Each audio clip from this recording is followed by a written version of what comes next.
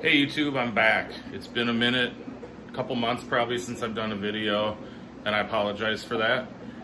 Been super busy, the holidays happened, still been fish keeping, just haven't had time to shoot videos, to be honest with you. And it, uh, you know, when life calls, uh, things like that get put on the back burner. But I've had a little time recently, so I thought I'd uh, try to get back into the video shooting. Hopefully I can remain more consistent uh, we'll see um, as things happen, um, day by day, week by week. We'll uh, we'll check into it. Um, so I thought I would do a fish room tour today of the basement fish room. There's been a lot of changes, um, and I'm going to go through them with you, um, and uh, some new things to come also. Um, but uh, I, as always, I just want to say, you know, thank you first of all for those of you that subscribe and watch these videos. Um, thanks for Lucas. Thanks to Lucas Bretz for coming out and doing a video here uh, last weekend. He was in town to speak at the Minnesota Aquarium Society, which I'm a board member there, and um, it was a real good turnout. Um, he came over here and did a real cool video, so go check out LRB Aquatics YouTube channel, and, and you can see the video he shot. It's actually a lot of changes just in one week from that video to um, the one you're going to see here today. And as always, um, I'm still running Aquatic Support Systems. Uh, that is my website, online retail business where I sell fish food and shrimp food and other related aquarium products.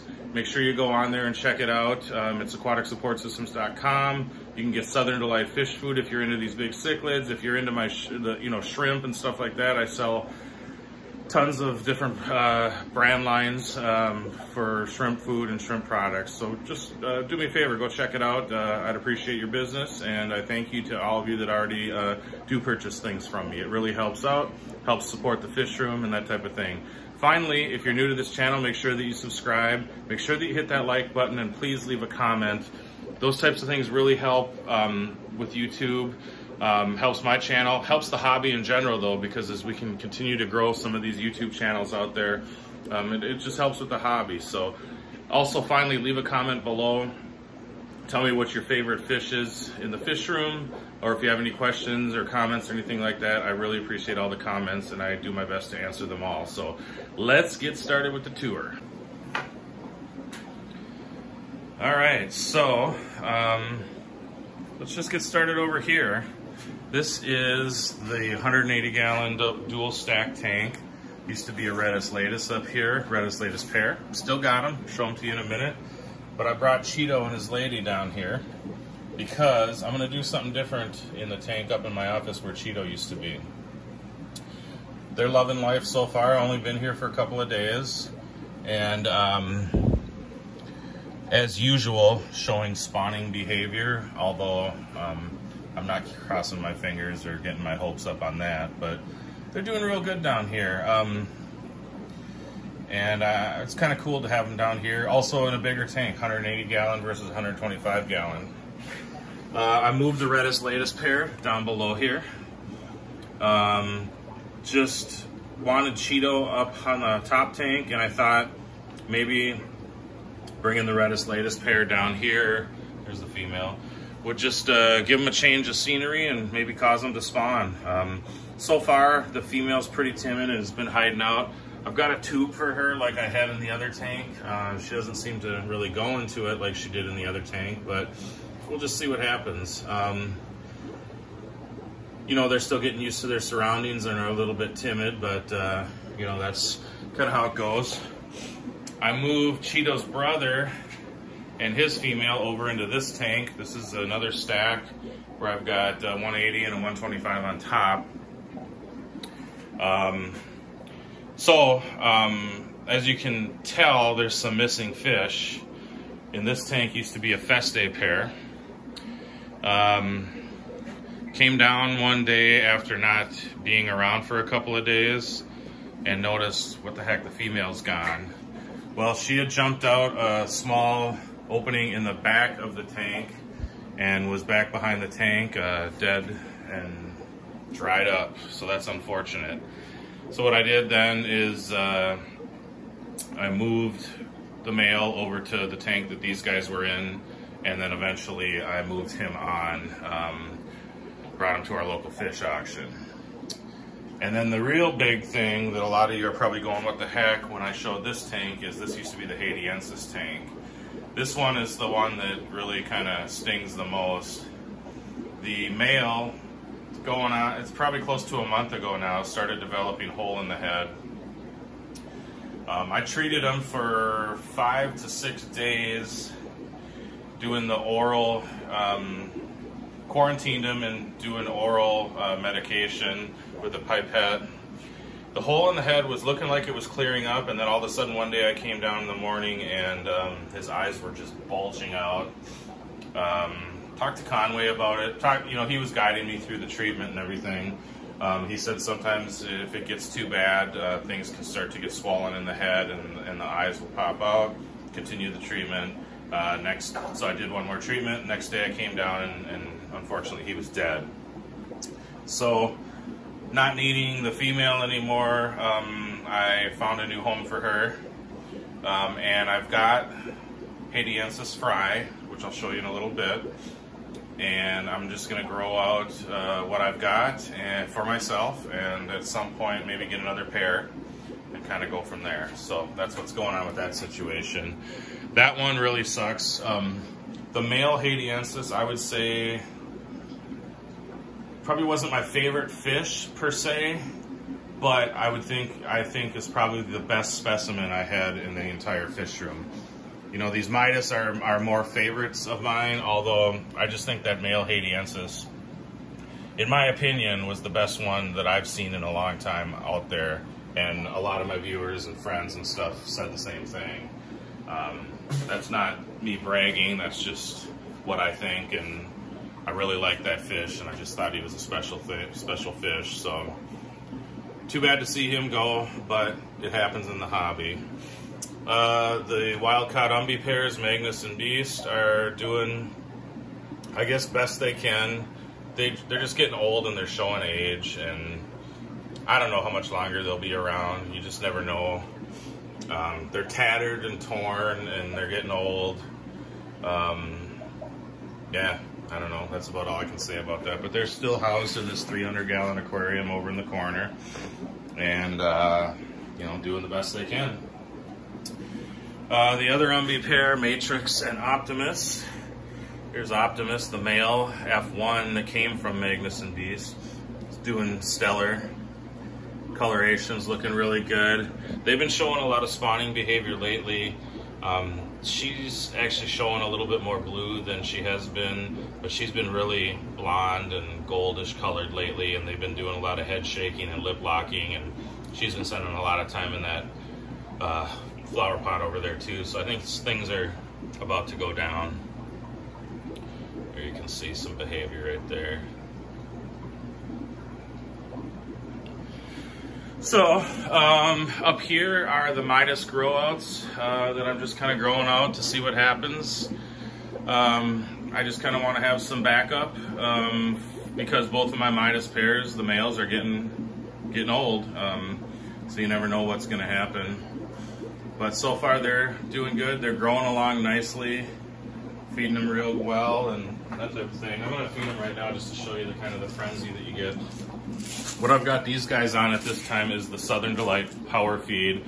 Um, if you don't know or you're new to my channel, Southern Delight is by far my favorite fish food. I recommend it totally to anyone who keeps cichlids or any type of fish. They've got they've got something for every type of fish keeping in their line of 11 different uh, formulas. So, but this is what's called the power feed. So I'm gonna go ahead right now and feed them. They're ready for it. One cool thing about Southern Delight too that no other fish food really has is they've got these cool shaker bottles so you don't have to get your hands all stinky, especially if like you're feeding before work in the morning, that type of thing. American company too, by the way so you know you're getting a quality product. They just go nuts for this stuff. Got a few loaches in here too.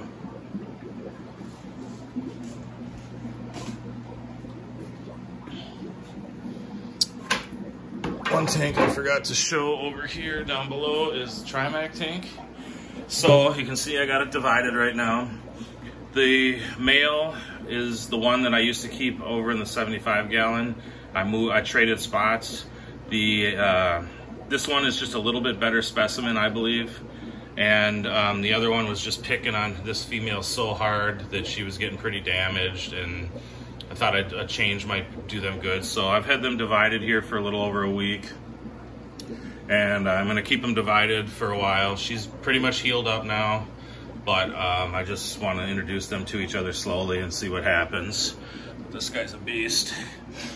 So then the other one is up here now.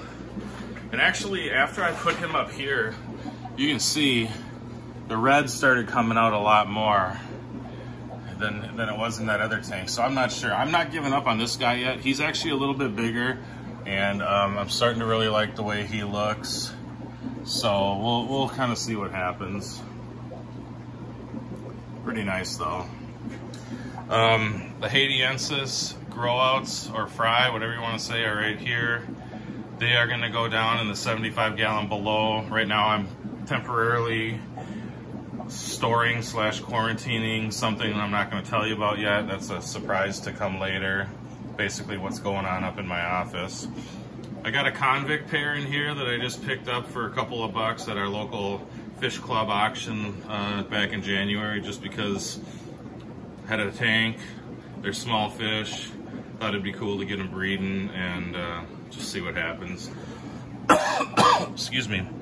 And then in this tank, they're not coming out right now, but I got a trio um, of jewels, jewel cichlids, the red ones. Maybe if I throw a little food in, they'll come out.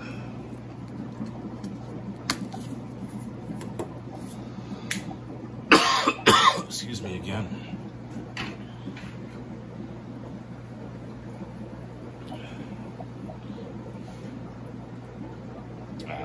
come out now. I'll get back to them if, if they do. But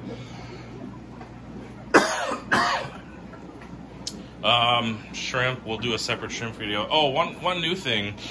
As far as aquatic support systems go, stock's running a little low right now, but I got a new shipment coming in. I started selling these uh, green green Pleco brand uh, plushies. This is the goldfish. They have a suction cup. They started with just selling Plecos, but they've advanced into some other stuff too but they're, they're really cool. Um, I don't think I showed these before in any videos, but they stick to your fish tank or any window or mirror or surface that a suction cup would stick to. I don't know, there's probably 20 different things. Um, bunch of different plecos, uh, bettas, uh, these crystal shrimp, uh, clown loaches. So those are up on the website if you're interested. Um, I'll be selling these right now. They're a real popular item. Um, I had a ton and they've pretty much uh, dwindled down to where I don't have too many left. But like I say, I got a new shipment coming in here real soon. Um, we'll go over and check out uh, the flower horn. This is the Comfa 9.9. He's doing real well, as always. Just love that pattern on his nuchal hump. He's a cool fish, really fun to have as a wet pet.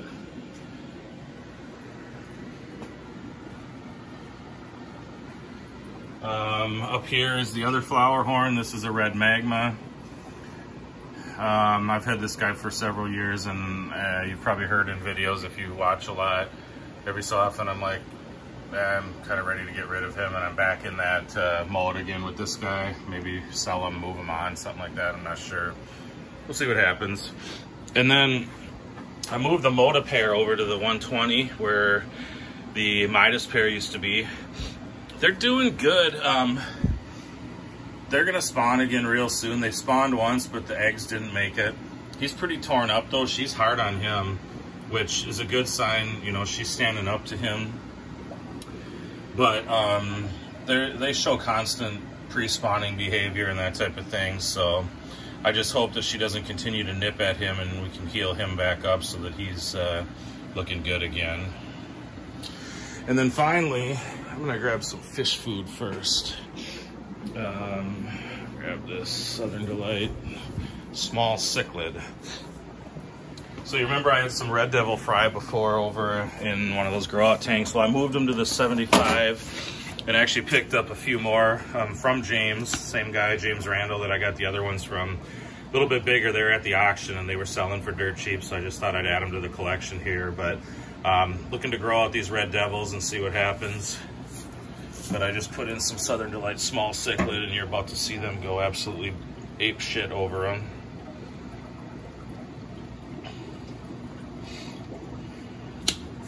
This is it, Southern Delight small cichlid. Real good fish food for smaller grow outs with your cichlids or um, just dwarf cichlids in general, African cichlids, that type of thing.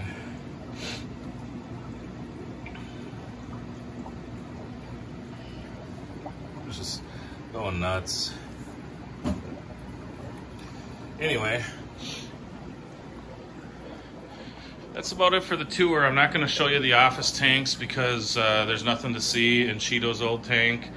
And the planted tank is doing eh, okay. So that's what we got going on up there.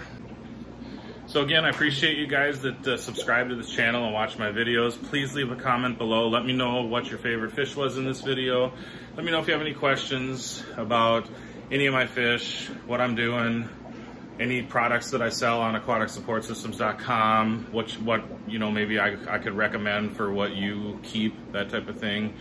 Um, and uh, like if you're new to this channel too, just make sure you hit that subscribe button if you like what you see. I do, I try to do regular fish room update videos. I also do shrimp I have shrimp tanks, about 18 of them, and I do separate videos on my shrimp tanks, so stay tuned for that if you're into that type of thing. And I've got two reef tanks upstairs that I do separate uh, update videos on those too, so stay tuned for that. Uh, until next time, guys, thanks for watching, uh, and uh, remember, aquaticsupportsystems.com is my website. Brian's Fish Tanks is the name of this YouTube channel, and I'd love to have you as a subscriber. Take care.